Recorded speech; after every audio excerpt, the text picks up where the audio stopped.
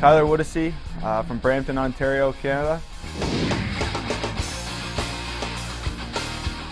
Started playing hockey when I was about five for Timbits Hockey, and uh, from there moved up through minor hockey and junior, and now playing with the Allen American.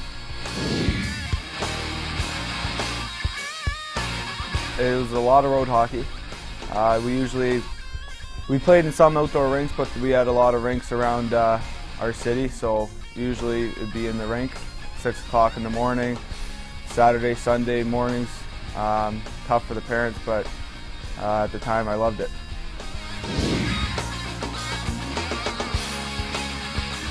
My best memory is probably last year. Uh, it was Phoenix. Um, I scored a hat trick, my first uh, pro hat trick for a defenseman, so uh, that was something pretty special. Five hole, short side, uh, and glove side, high.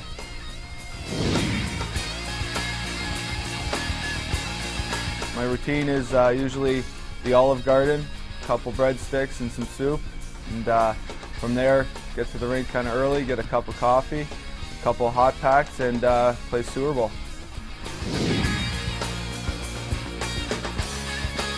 I'd say Terrell Owens.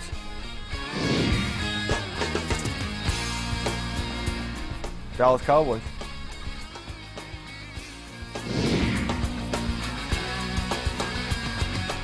Uh, probably Jim Carrey.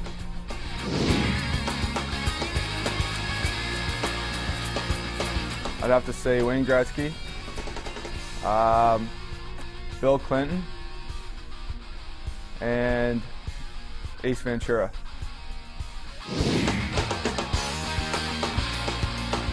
Just always stay positive. I mean, some sometimes I know uh, some hockey dads are really tough on their sons when they get off the ice. They don't even want to get in the car and go home with them because they know they're just going to get yelled at. So, I mean, I'd say just be positive and make it fun for the kids because that's what it's all about.